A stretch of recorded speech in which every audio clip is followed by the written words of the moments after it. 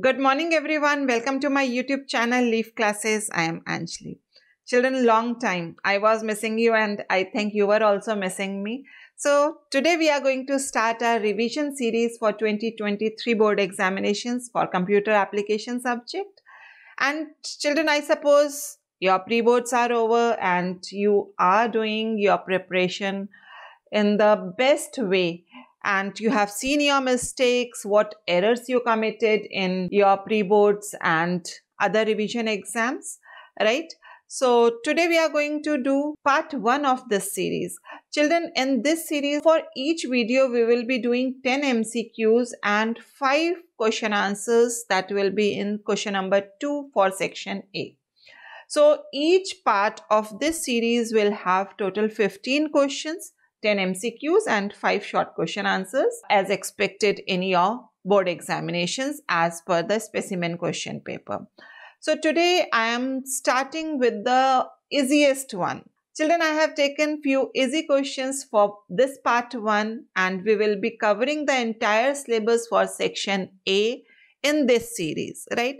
And since as all of you know, I go very slow. So it's my request to all of you to watch this video at 1.5 speed and definitely the question answers which you know. Before I tell you the answers, you should be ready with your answers and just match your answers with mine.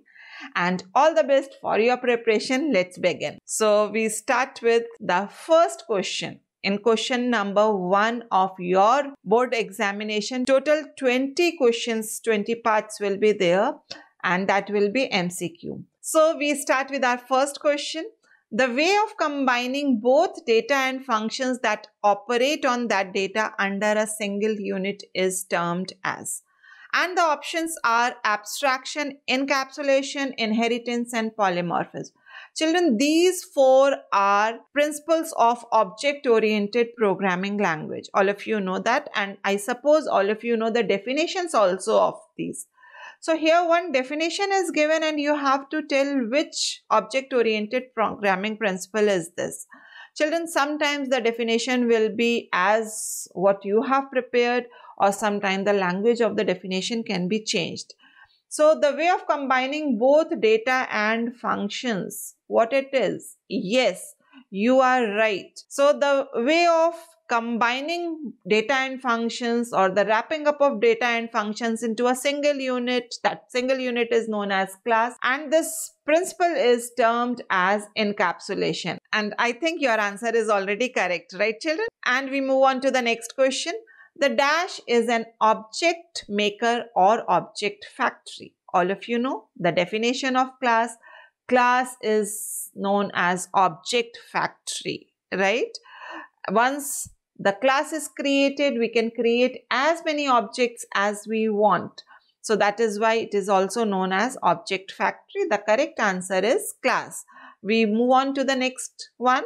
It refers to the act of representing essential features without including the background details or its explanation. Only the essential features, what you require that are presented and rest everything is hidden. And that feature is Right. Abstraction. Right. I think all of you are also telling the right answers. A class is a dash of similar objects. What? Blueprint. Right. So, class is a blueprint of the objects. Class is object factory. The class definition you have done in many ways. So, prepare all that helpful for examination. The next question is an identifiable entity with some characteristics and behavior. Identifiable entity means an entity which has some identity of its own. Anything. This pen, this mic, speaker, everything has got some identity. The color, the weight, the shape, the size. And that entity is termed as object right children? Next is the Java concept that is implemented through superclass and subclass. Superclass and subclass, these two terms you have done in biology also and in which topic? Inheritance.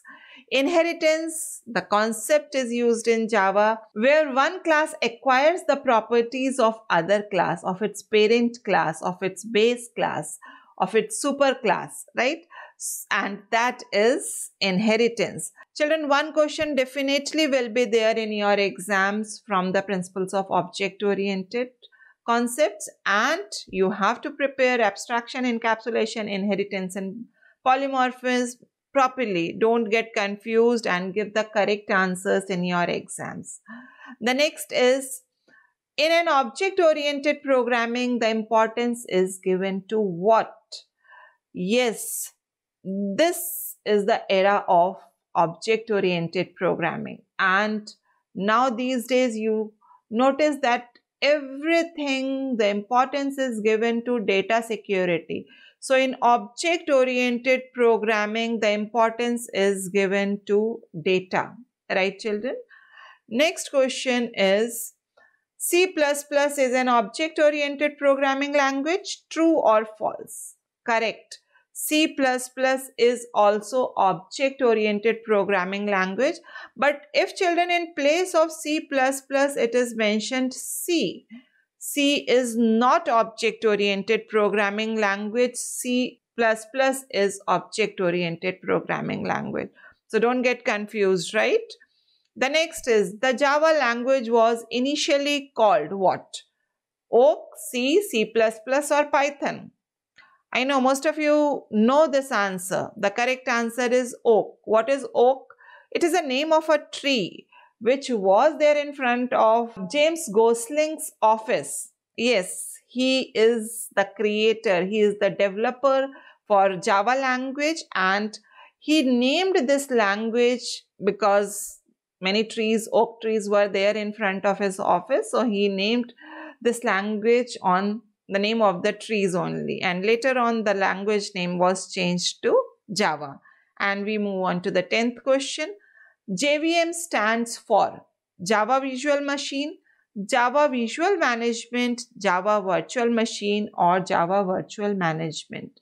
Children, if you notice here, the first word is Java, that is for J. The second is starting with V in all four options, Third is starting with M in all four options. So please go through all the options correctly. Children, please utilize your reading time, right? Reading time in reading the question properly, going through each and every option properly. So the correct answer for this is Java Virtual Machine. That is also known as Java Interpreter, right? The question can be asked, what is Java Interpreter? Or Java Virtual Machine is also termed as Java Interpreter, right? Now we move on to question number two. Name the principles of object-oriented programming. The four principles of object-oriented programming are encapsulation, inheritance, data abstraction, and polymorphism. Children, here I would suggest you that you don't write class and object when the principles of object-oriented is asked please avoid writing this. When the question says write the elements, name the elements, then obviously along with these four you can write class and objects but not as the principal. These four are the principles, right? So prepare this. This video, this part of this series I have prepared only for uh, these basically concepts only object oriented programming concepts. And from next video we will be doing the mix up of uh, all the chapters for section a preparation. As you have already prepared already appeared for your pre-boards and you don't require the practice chapter wise only this was the beginning of this series so i took this chapter. Otherwise we will be doing the mix up right children? The next question define bytecode Children, this is also very important and the answer all of you know. If you have any doubt, you can note it down, you can take the screenshot. Bytecode can be defined as an intermediate code generated by the compiler after the compilation of the source code of Java program. Children, Java is a language which uses both compiler as well as interpreter. And after compilation, the code which we get before interpretation, right? So after compilation, the code which we get is termed as bytecode and it is in binary form only, right? The question can be, what is the form of binary code? So answer will be, it is in binary form. The next question, give the features of Java. Major features of Java are, it is simple, object-oriented, platform-independent, portable, robust, secure and multi-threaded. Children, this question can be covered in MCQ also. All these, any of these features can be given, say multi-threaded, secure, robust and you may say that robust is not the uh, feature of Java. Please note down that these are the features of Java, whether you get the question in MCQ or like this in question number 2, right? The next question, name two types of Java programs. All of you know this answer also. The two types of Java programs are Java standalone applications and Java applets. The programs which you write in your lab or at home, these are the programs that are written for standalone computers, standalone applications, and the programs which are used for uh, writing web pages or which can be shared on internet are Java applets, right? We move on to the next question. Define source code. Source code refers to the program written by the programmer by using any high-level language. So the program which you write in BlueJ or in JDK or in any other platform in Java language, that is the source code. Source code means the programmer is writing that, right? The programmer is writing the program for in the given task that is the source code which is given to the compiler for further translation right? So children for today this much only. We have done these 15 questions and I suppose all of you are knowing this. And since it is a revision series so I'll be taking all the questions all the chapters for revision of section A. And definitely I have thought something for section B also very soon I am going to tell you. If you haven't subscribed the channel till now, please do subscribe and press the bell icon so that you get the notifications for all the videos and no important topic is missed by you. You may join us on our telegram channel also. The link is there in the description box. Keep practicing, keep working hard. God bless you children.